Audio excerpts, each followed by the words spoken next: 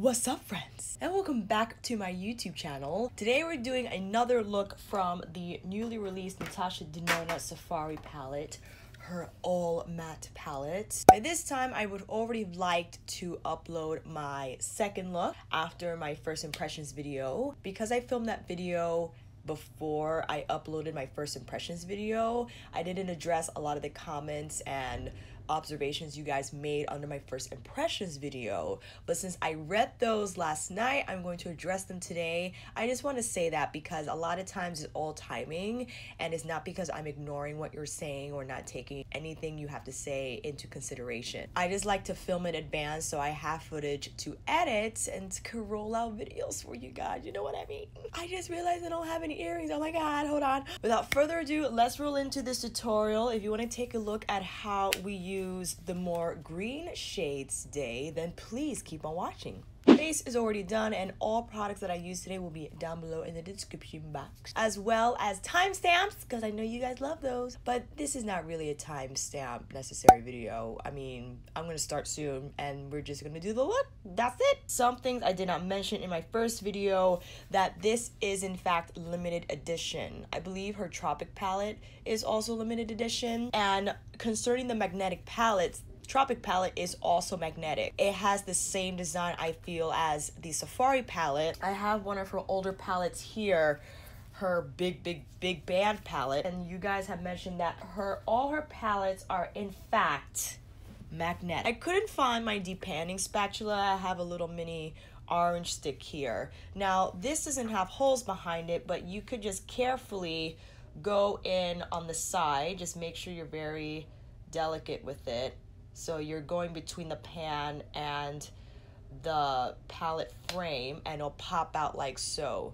And the whole well is magnetic. Now, because of that design, they are tougher to depot but I feel if you have, again, a little spatula or something like an orange stick just to dismantle them, that's a really powerful word. I didn't want to use that. To depot them. And I believe that's the case with her smaller palettes as well. I prepped my lids with P. Louise today. I'm going back. Oh, that's a deep crease because I've been rotating between my Too Faced Born This Way Super Consult Super Coverage Concealer and I feel like we could go back to P. Louise for a little bit. Let me just zoom you in a little closer. Okay, okay, okay. I'm very happy today because the lighting is better and I feel we don't look as gray. I wanted to come back on here and use the green shades because some of you had mentioned that they looked muddy, but we're gonna see. I didn't powder because again, I wanna see how these shadows perform on a slightly tackier base. I think today I'm gonna go in with Rhino. You know what? Do I wanna do Savana first? I'm gonna do Savana first like I did in the first impressions video, going in with my Wayne number 16. And let's see how this goes.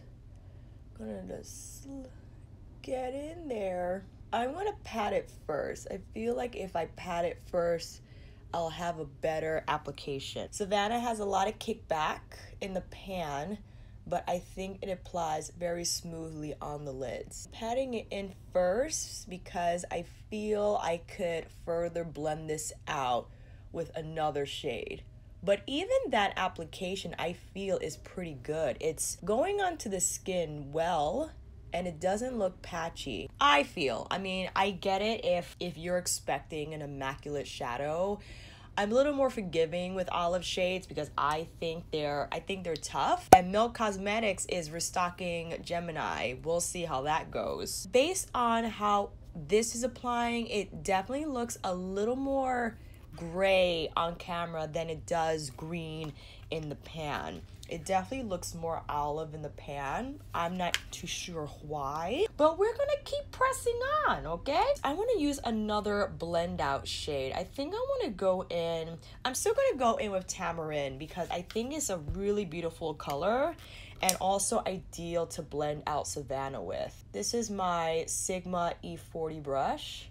And I'm just brushing the edges to help smooth them out. I read uh, Christine from Temptalia her review on Natasha Denona, and she brought up an interesting point. She felt that Natasha could have stayed away from the tribe name and stick more to flora fauna, just, you know, the landscape, plants and flowers and the animals in Africa. She felt that Natasha was exoticizing these names and these tribes. Sometimes I definitely give people the benefit of the doubt way too often. And when I saw the names and we talked about what they meant and what they represented in the first video, my automatic thought was she's been to these places, she's been on safari, maybe she saw these groups of people, and upon that observation as an artist, she thought of this color and she wanted to name that color as such. Could she be exoticizing and taking advantage of? Uh, the different people, the different tribes on the African continent from the different countries, sure. I sometimes feel bad as a woman of color when I don't inherently pick these observations up. Like i'm such a bad black person. It could be very well she is taking advantage of of these tribe names and maybe these colors have nothing to do with them and why are you including them in your eyeshadow palette or maybe again she's been to these places and she felt the inspiration at the time and wanted to include them in the palette and again this is just a conversation i don't want us to go haywire about it but let me know if you notice that and what you feel about it. We're next going in with Wayne number four, but in with Rhino. And Rhino, I'm gonna punch more to my outer V. Now, if we're just gonna talk eyeshadow performance, the way they melt into the skin, I feel is something that is very hard to come by in a matte shadow. Like I said in my second look video, I don't even have to swipe it in to lay down the color. I mean, it just goes on. The thing is though, sure, sometimes you'll take a flat shader brush first, lay down the color, and then you'll take a blender brush to smooth it out. When you just tap it in, it smooths out automatically. Now I feel that I applied Rhino that you can see Savana's more olive nature. Taking my number four again with Savana and just smoothing out the inner portion of my eye so I make that little rounder, not as like it comes to a complete stop, you know what I mean? The Tropic palette did go on sale for like a short stint. Feel it went on sale for a few days at Sephora.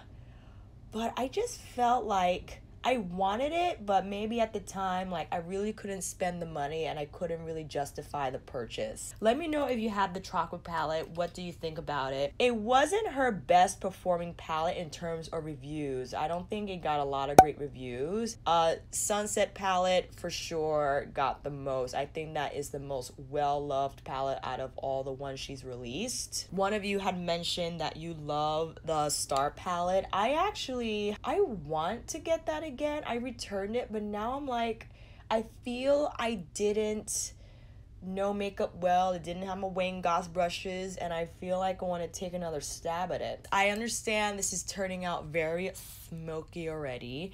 I want to go in with Fata Morgana. I love this deep teal shade.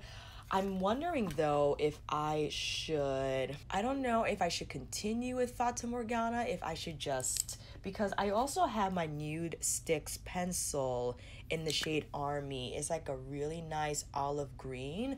I probably should have applied that on my lid first if I wanted to stick to just Rhino and Savana and call it a day. I'm gonna do Fata, forget it. You know what? I'm just gonna do it. Except though, I will now go in with a flat shader. This is my Smith 253 brush in with Fata Morgana. I'm gonna pat it first on my lid and just get the color on. Love, love this teal blue. I think it's so gorgeous.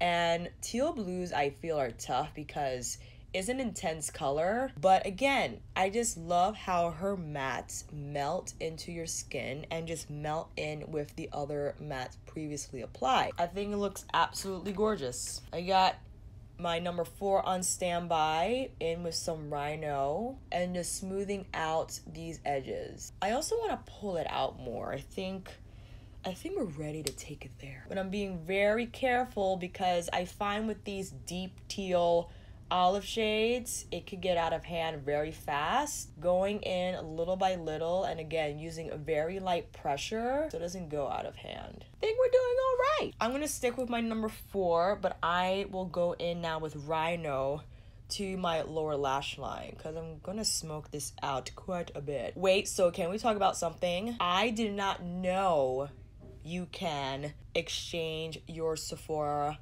uh, reward points for a gift card. But here's the catch. There's several actually. Catch number one. I called to find out how can we make this transaction happen. You know what I mean? The gentleman said that every Tuesday and Thursday, those are the uh, reward bazaar days on 9 a.m. Pacific time. They'll release the new rewards on their app, their website. I was looking for that option and I asked, where is it? He says on Tuesday and Thursday random emails would go out with the option to convert your points to a hundred dollar gift card. And basically it's a willy wonka situation. You don't know when you're gonna get it. You just have to check your email every tuesday and thursday and find out if you were one of the chosen ones. Which is also not true because when i looked on rewards bazaar yesterday i did see the option for the $100 gift card conversion. It said add to basket. I added two. Not quite sure if that option shows up on random random Tuesdays and Thursdays, but I was thrilled and who knows what's really going on, but make sure you check Rewards Bazaar so you can convert those points and get some money. Here's the other catch. Two catches. You have to spend it all at once. You can't spend it in pieces. You just have to do the $100 all online or all in store and you can't return the items that you bought on the gift card. So it's like you kind of have to decide whatever you want to splurge on because you're not and don't feel bad because it's not your money per se. I mean, it is. It brought you to this place that you have to make sure you really love it because you can't return it. What would I buy if I had that option? If I'm able to Savana, number 4. If I had a 100 Sephora dollars, what would I buy and not feel like I have to return? In that case, I feel like skincare that I love that I need to replenish. I already went haywire during the Beauty Insider Appreciation Sale. So I've already stocked up on a lot of items that I use over and over again, like my makeup remover and my uh, makeup wipes. Like indulging makeup items. Let's see. Maybe, you know, the one thing I do love about holiday releases is the jumbo size items that they'll start to sell for like a better value price. I got a really big Purity uh, facial cleanser for my brushes. The skincare sets that all come with minis, like I really love those because I actually recycle and keep using the mini bottles for travel. So I think that's an item I would use the $300 with. I know this is getting smoky so fast. I'm like realizing I still have to leave the house. But you know what? You really got to you got to commit. So we're going all in. I just wish this looked better. I'm trying to really make this happen because I want it to be a smoother looking point. Now, if you wanted to make this into a more daily friendly look, then definitely don't do this. I would go in with the warmer shades like maybe tamarind or desert date all over the lid and use Fata Morgana just on the lash line, top and bottom, or even just the top to change it up and make it a teal blue liner instead of just a black one. I was gonna go off camera and just do my other eye, but you know what? I'm gonna stay here with you guys. Crazy thing is, with all the shadow we applied, no fallout. So that's pretty good. I see what happened here. I definitely went too high with um, the teal shade. That's why it looks a little crazy. But maybe when I have both eyes done, I'll feel better about it. Thank you guys so much for your support. You were so kind in just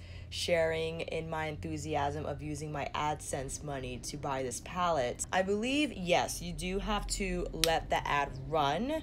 I'm not sure if you get more money if you click on the ad. I definitely have to look that up on a YouTube video like how does AdSense work? I do watch a lot of like YouTube how-tos and how to build your channel. Believe it or not, the majority of money made is not through views. It's through affiliation codes and sponsorships. Now, I actually have uh, two sponsorship videos coming up, but they are with brands that I've already worked with and that I genuinely love and I've actually recommended you in the past. So I do believe it's a is a two-way street, right? If a brand were to approach me with a sponsorship uh gig, I would ideally like to test the product out first and if I feel it's something that I love and I feel comfortable recommending to you guys, then I'll go on with the project. But just to kind of off the bat say, "Hey, this is great. You'll love it. I'm like, will I? I don't know. I gotta try it out first.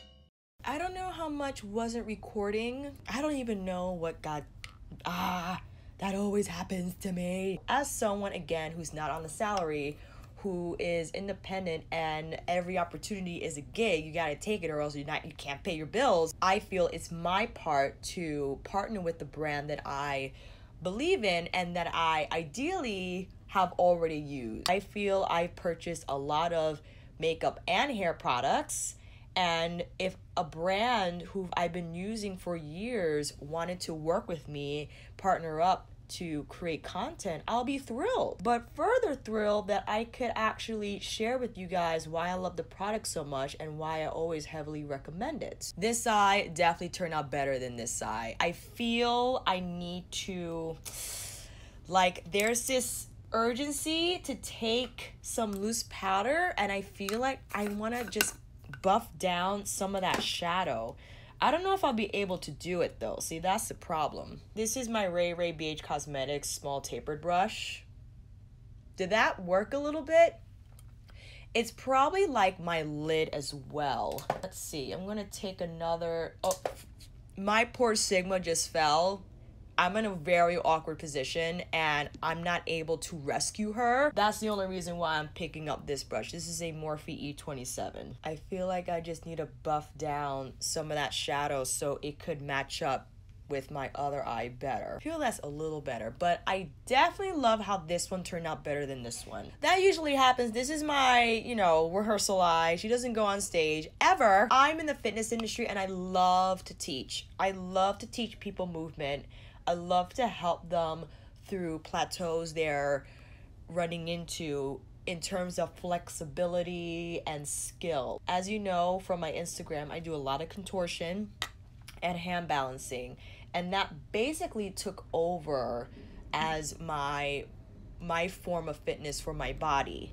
And I find it so encouraging when you teach your body different skills that you wouldn't think possible. And it can do all these amazing things. I also teach uh, a dancer conditioning class that I feel helps with people's balance, endurance, and strength.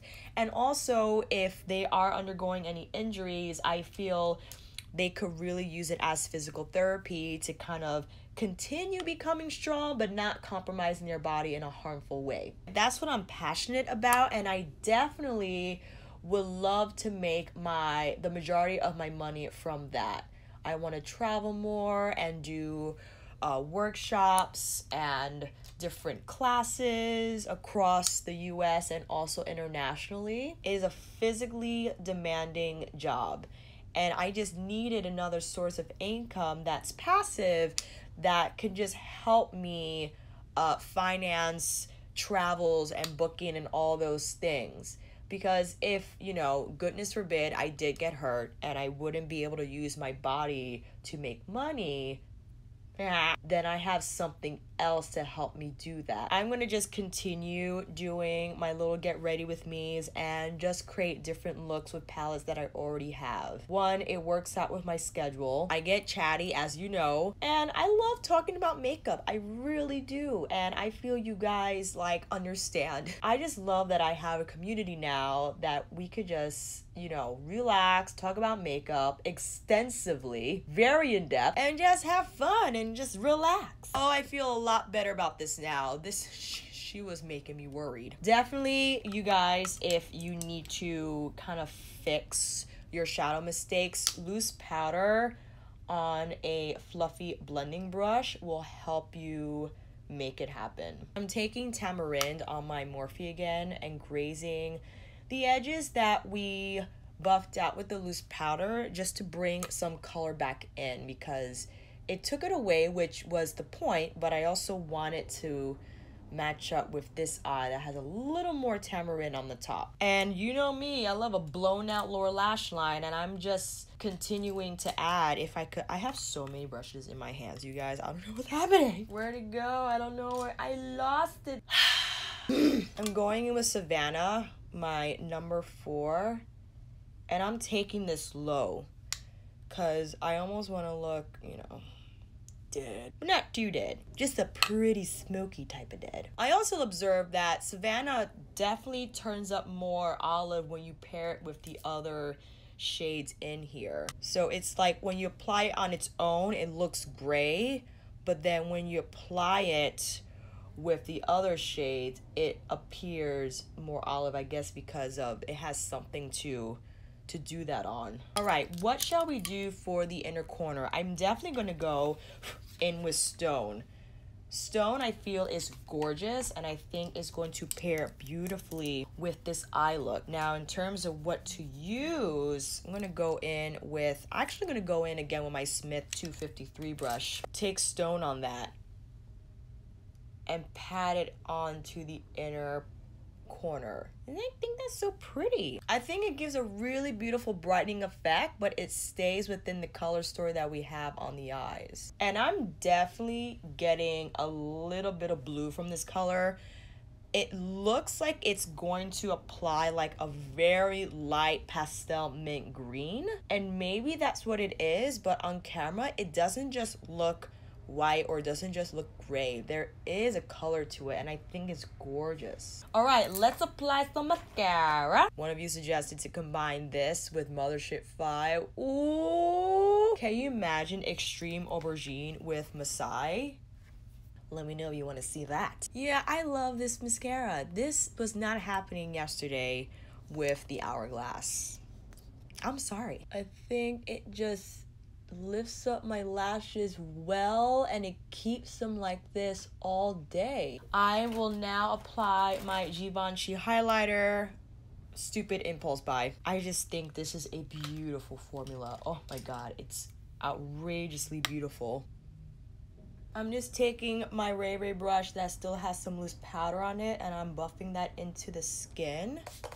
Taking my, ooh, that was a lot of spritz. Ooh taking my beauty sponge and just pressing that layer of moisture into the skin. Taking my Ofra Liquid Lip in Verona. Been loving wearing this. Placing some NYX Cosmetics Soft Matte Cream London Center. Finishing off with my MAC Extended Play on my lower lash lines. And here's the finished look. How do you like it? Let me know down below what you want to see next from me using the Safari palette or any palette for that matter. And with that said, it's a wrap. Thank you all so much for watching. I hope this video helped. And if you like this video, please give it a thumbs up and subscribe to my channel. And until then, I'll see you on here again with another demo, tutorial, chit chat, get ready with me, or review. Take care and I'll see you again soon.